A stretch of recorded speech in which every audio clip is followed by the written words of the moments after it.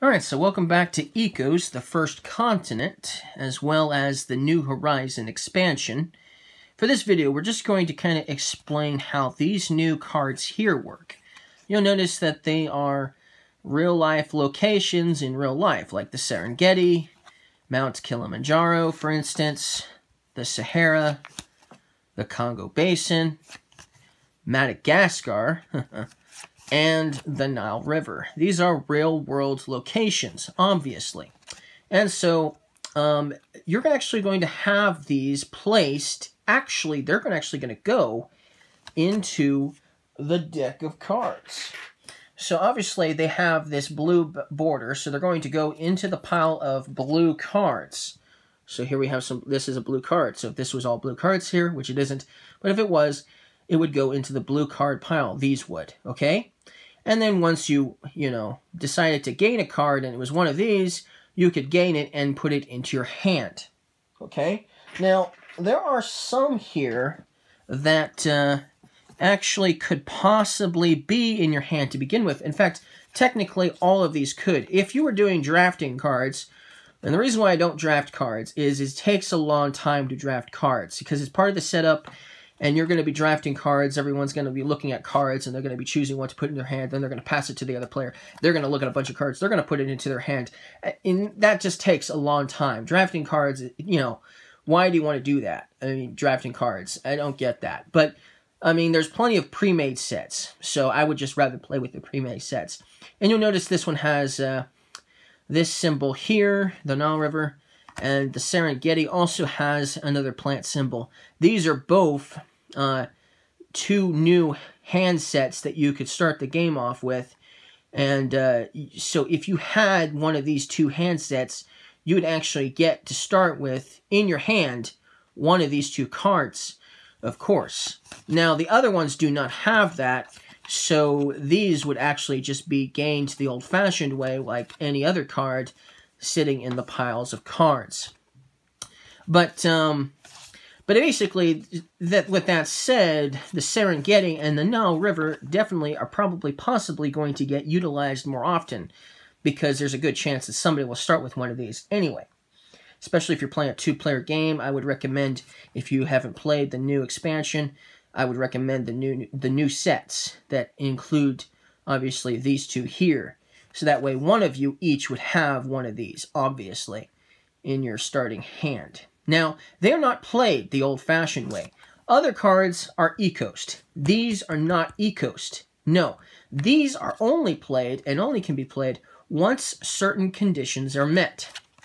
Now, this one, the Nile River, the condition that has to be met is you have to have three landmass, and it doesn't matter which tile it is, desert or grassland, but you have to have three here, three here of water, and then three more desert and uh, grassland here to do this. And if you look at it, you can it can also be in this direction if you want, you know, or like that. It doesn't matter. But it has to look like this. And if you look closely, we don't have anything similar to that right now at all, do we? So you wouldn't be able to play this automatically on your turn. So, you know, you wouldn't be able to play this automatically um, after you ecos a card, okay? Now, this is something you can only play until after you ecos a card. So you first have to ecos a card, and then after the card has been ecosed, if it has changed the landmass to fit this need, which it isn't obviously, um, you would get to play this card, obviously. Now, and of course your friends, your opponents here could be helping you out too because they don't know for sure which one you have or if you have any at all, so they could be helping you uh, build up a landmass that would fit one of these criteria. Now, the Serengeti, if you'll look, the Serengeti actually does fit the required needs. It has a grassland of six grass tiles, and it's shaped like this in this direction just fine.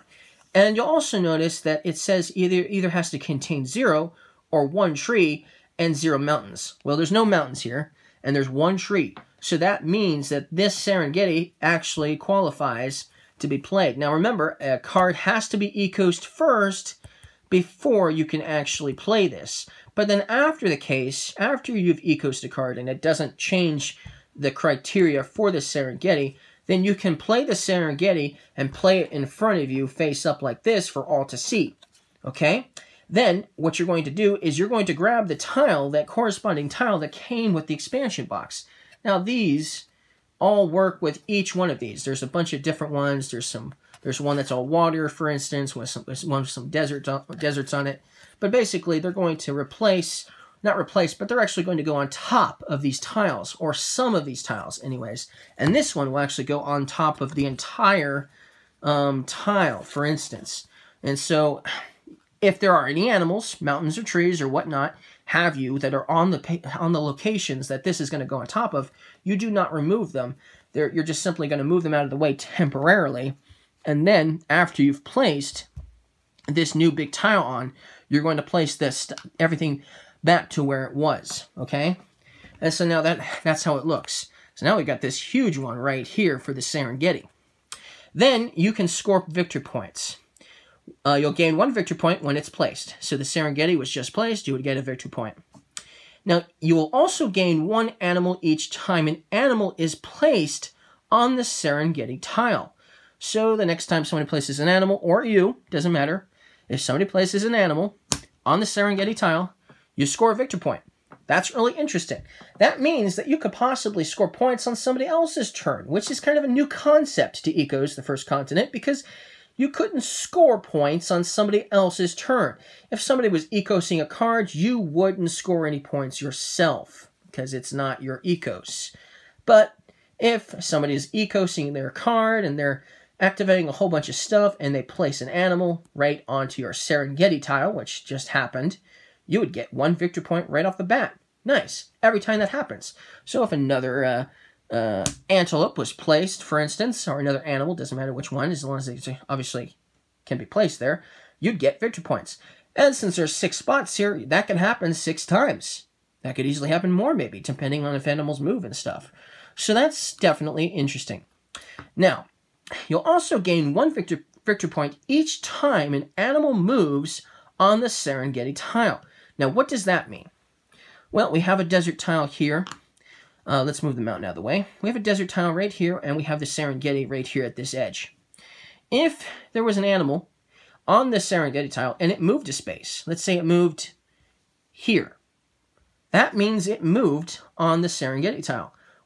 Each time that happens, you're going to get a victory point. So that animal moved once, and it's still, it doesn't matter if it's on the Serengeti tile or not, but you're going to get a victory point. Now let's say that antelope moved again, later down the road, on a separate ecos, for instance. Or just, you know, it's a separate animal for that matter. Um, let's say the antelope was here, and it actually moved off of the Serengeti tile and onto the desert tile. Well, it still moved, it still started its movement on the Serengeti tile. So you would still get that extra victory point. Now, this is where it's different. If the antelope was to move from a desert tile, for instance, to the Serengeti tile, well, that does not count. You do not get any victory points if the animal is moving from an adjacent tile to the Serengeti tile, to the Serengeti tile. You do not get victory points. It's only when it starts its movement on the Serengeti tile that you would get a victory point or if it was just simply moving around on the Serengeti tile, you'd be getting victory points. Now, remember, if this antelope was to move from here to here, that does not mean you get two victory points. That means you still just get one victory point because it's per movement. It's not per tile it moves. It's per movement. So that's something to note. But still, you're going to get some extra victory points, possibly on other people's turns um, obviously. Especially if there wasn't much landmass anyways, and people still want to get their victory points for placing animals, you're going to get some victory points for that as well. And that's basically how the Serengeti title, title works. And that's basically, obviously, how it's going to work. Now, this one here is pretty self-explanatory as, as the setup.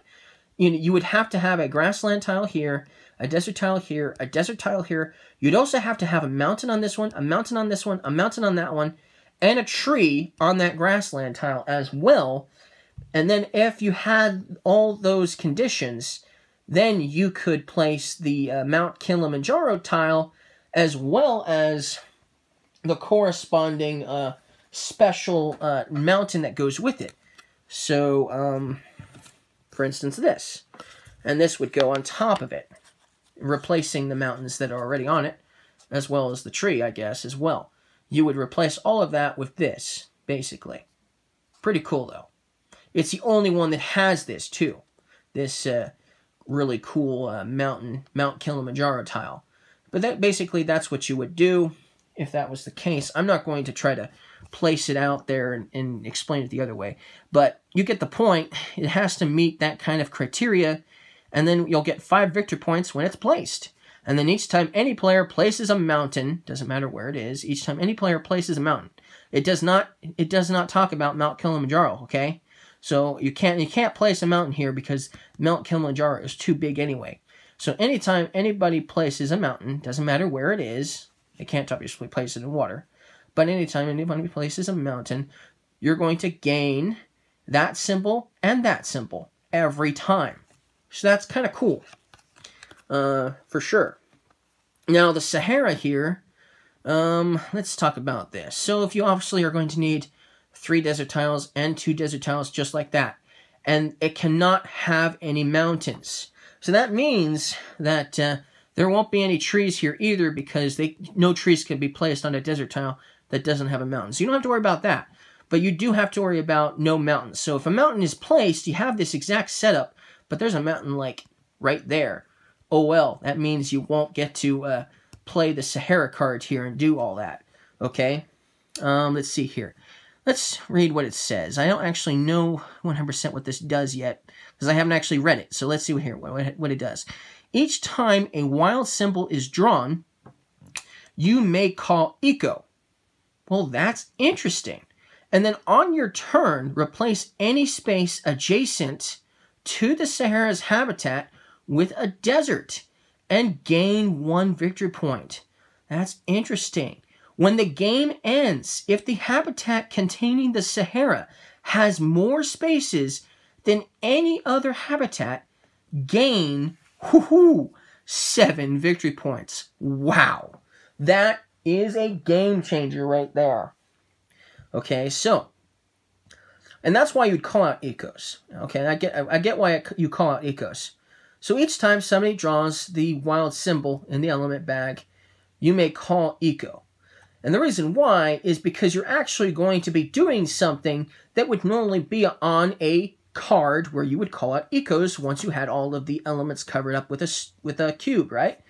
But you're obviously not doing that. But that's why you're going to call it ecos, so that way you can replace an adjacent space, an adjacent tile space to the Sahara habitat here, and replace it with a desert habitat, making the Sahara bigger. Yes, there you won't be you won't be adding the big giant uh, desert. Uh, you won't be adding more of these big ones. Okay, you're just going to have this big one, and it's going to start branching off with a bunch of desert tiles surrounding it. But it's still going to be part of this. It's still going to be part of the Sahara in the end of the day.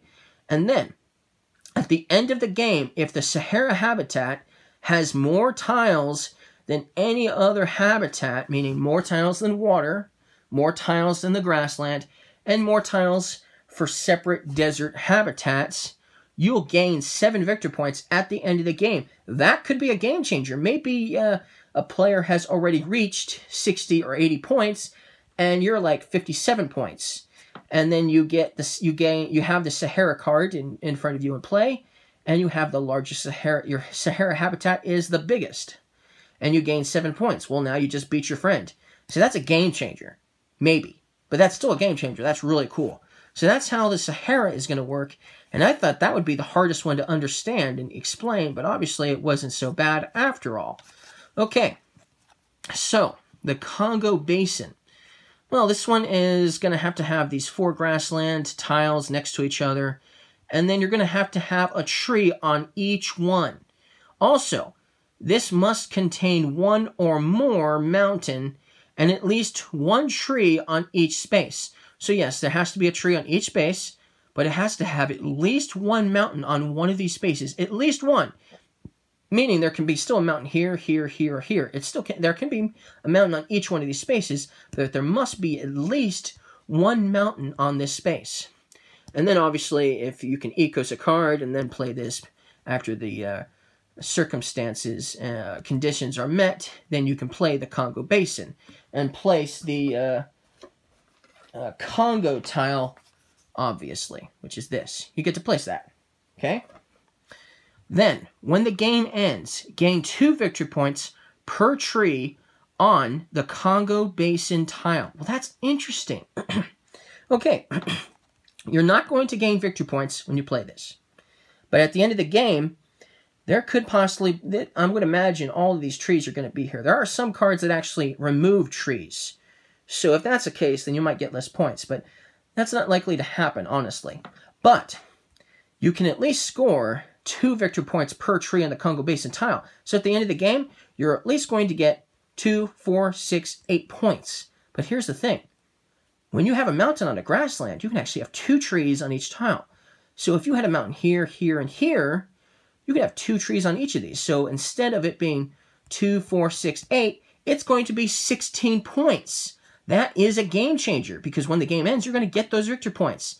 So yeah, somebody ends the game, they, they, they end the game, they have 60 points. You have the Congo Basin. You are only like 10 points behind the other player. But you have, you know, two trees on each of these spaces thanks to all the mountains. You gain 16 points. You just beat them. that is a game changer. Another uh, end game scoring that's also obviously new to Ecos, the first continent. Awesome. So that's two cards now, I believe, that can score at the end of the game. One, uh, gain you victory points at the end of the game. So the Sahara does it, and the Congo Basin does it as well. Cool. All right, so here we have Madagascar. So Madagascar is going to have to have a layout like this. Actually, let's do this. Let's exchange this, because it used to be water, remember? And I did something with a card. If you watched the other video, I did something with a card where I, I, I replaced it with a, a landmass. But let's say this was water right here. Okay, up to four of the water spaces may be the edge of the landscape instead of water. So, um, this one, for instance, if this wasn't here, that would be fine for the setup for to get after you ecos a card, getting to play this card. That would be allowed because you can have at least, you can have up to four uh, that are at the edge of, edge of the landscape. Okay? You can have up to four at the end of the landscape.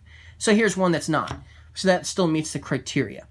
And it doesn't have any other placement rules, so there you don't have to worry about trees or mountains that are on Madagascar here. But once you meet the requirements, you're going to obviously um, do this. And let's pretend uh, these aren't here anyways. Okay, let's take these off. But let's go ahead and place this on top of this. Now, it does not matter where you place it, because remember, this does not have to be desert or grass. It can be either or, or it can be one of each. It doesn't matter. So, you know, we'll do that. Just to, you know, there you go. There's the example. So now, Madagascar tile has been placed. Okay, gain three, three victor points when it's placed. Ooh, nice. And then gain two victor points each time a token is placed on or adjacent to the Madagascar tile. A token, that's an animal. So every time an animal token is placed either on Madagascar or adjacent, so if this fish was placed adjacent to Madagascar, you're going to get two victor points each time. If this antelope was placed on Madagascar, you're going to get two victory points as well because it was placed on Madagascar. So that's what that means. Pretty simple, straightforward, and easy, right? And obviously, you could get some victory points for this as well. Okay, we have one more to explain. Okay, so the Nile River here, and I'm not going to demonstrate this one by placing it and moving a bunch of tiles around, because this this is already a fairly long video. But anyways, uh, you can have you're going to need three grassland or three desert or one of each or whatnot have you on opposite sides with three water tiles in between, kind of making it look like an actual river. And remember, it can be like this, it can be like this, it doesn't matter. But basically, it has to look like the Nile River. And then you're going to place uh, the, uh, once that's done and you ecos a card and you can, and you meet the qualifications, you're going to place this one, this Nile River tile, you know, actually on the water, obviously. And you're going to place it. Okay? Then you're going to get two victory points when it was placed. Then you'll gain one victory point each time an animal is placed in the habitat containing the Nile River tile, or each time a water is placed as part of the habitat containing the Nile River tile. So if you are going to make the Nile River bigger, kind of like the Sahara, if you're going to make the Nile River bigger, you're going to get a victory point each time you place a water tile to add on to the river, making it nice and big. Now remember, you are making a river, you're not making an ocean, so it's going to need to stay in a line. You can go left, you can go right, but you can't just be simply placing water tiles forming this giant lake or ocean, okay? You're going to need to still place it as a river. But you're going to get a, a victor point each time you add on to the river in either direction you decide to do, right? And then obviously you're going to get a victor point each time an animal is placed there as well. So if your friends are doing it as well, or should I say your opponents are doing it as well, you're going to get victory points on their turn each time. That's cool. I like that. And so that's all of the new cards from Ecos the First Continent that are like this. They did add new cards, obviously, normal cards to the game, and I've probably gone over some of them at some point. But the point is, you understand now the new way of playing with these cards, and they're not that hard. I mean, I thought, for instance, I didn't even look bother to look at this one, but I thought this one was going to be hard just because of all the text. But you know, I looked at it and I instantly figured it out. Why, including why you're going to call out Ecos in the first place. And so, yeah, very easy and simple and straightforward. All of these new uh, landscapes are.